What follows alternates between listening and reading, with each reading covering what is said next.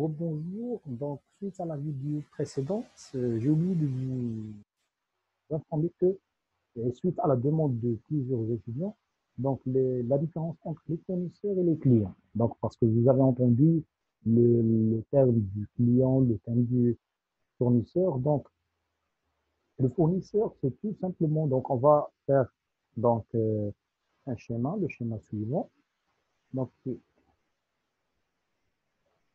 donc, le schéma, donc euh, ce schéma. Donc, ici, l'entreprise. Donc, celui là, c'est le fournisseur et le client. Mais quand je cela, donc, le, le, quand on achète une marchandise ou là, un produit, donc, auprès d'un fournisseur. Mais quand je cela, mais je suis un fournisseur, un fournisseur. Donc, ملي كنبيع السلعة هاد l'entreprise ملي كتبيع السلعة كنبيعو un client. Je le, je le vends à un client. Donc, un client, donc, là, كنبيع السلعة le client. Donc, là, la différence entre le fournisseur et le fournisseur, comme son nom l'indique, le fournisseur, c'est le vendeur de marchandises. Le client ou l'acheteur de marchandises. D'abord, ملي كنبيع ال- le produit ديالي ولا le service ولا le produit fini ولا la marchandise, quel que soit la nature de la vente, donc, on vend le produit à un client. On lui, on lui donne le nom du client. Donc, quand on achète auprès d'un euh, du, du tiers, on l'appelle un fournisseur. C'est celui qui nous fournit des marchandises, produits finis, des matières premières, donc des, des, des produits finis militaires, des produits finis qui sont des marchandises. Vous avez compris la vidéo précédente. Non, donc, non, je vous rappelle bien que nous avons vu, quand on achète des produits, des matières premières, quand, quand l'entreprise achète des matières premières, c'est certainement pour faire, euh, pour les faire entrer dans un cycle de production, dans un cycle de fabrication pour fabriquer un produit. Donc, pour fabriquer un produit, on vit de le vendre auprès des tiers, les humains, les clients. Donc, Hana, كما يكون عندكم هذا لو برينسيپ دونك سكو داك اللي كنشري من عنده كنسميه ان فورنيسور وهذاك اللي كنبيع له كنسميه ان كليون Ne riez pas parce que la, ma- il y a des étudiants qui ne font pas la différence entre ce qu'on appelle un fournisseur et un client. Et pas mal des opérations, je trouve le jour de l'examen ou le jour du contrôle, je trouve des papiers qui sont vraiment catastrophiques.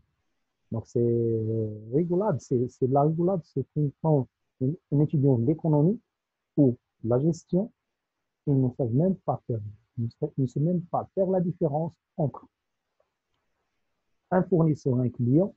Donc c'est pour cela, je répète pas mal de fois. Donc ça c'est le principe de la séparation entre, entre le fournisseur et le client. Ok? Donc, sais comment comme quoi, tout à l'heure, la vidéo précédente, comme quoi, c'est que euh, le- les types d'entreprises. Les sources, euh, c'est pas mal des étudiants me posent la question quelles sont les sources d'entreprise? Ah, je peux aller Au niveau du bilan. Le bilan, quand je vois les ressources de l'entreprise, je me suis plus de là, je me suis plus de là, je suis plus de là, je me suis plus de là. Il faut retenir maintenant, à la vidéo, c'est que il y a une différence entre un fournisseur et un client.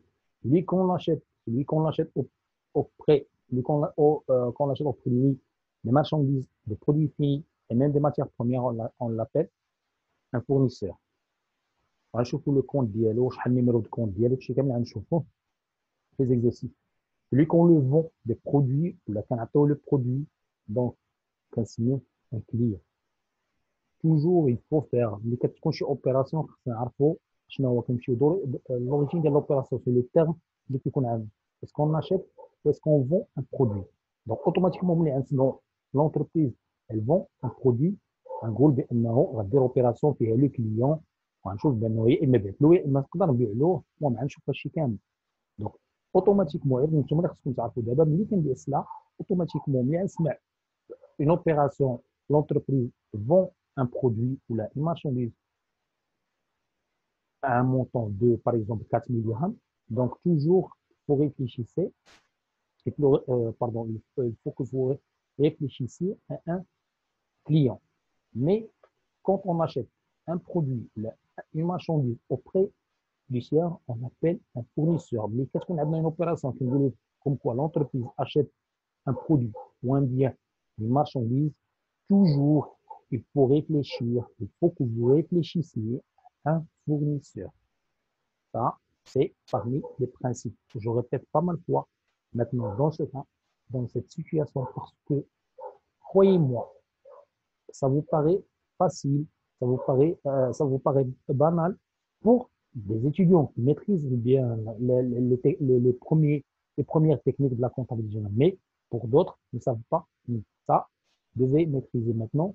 Dorénavant, vous devez faire la différence entre ces deux tiers. Donc, soit les fournisseurs, soit les clients. Ça, c'est parmi les premiers principes. OK?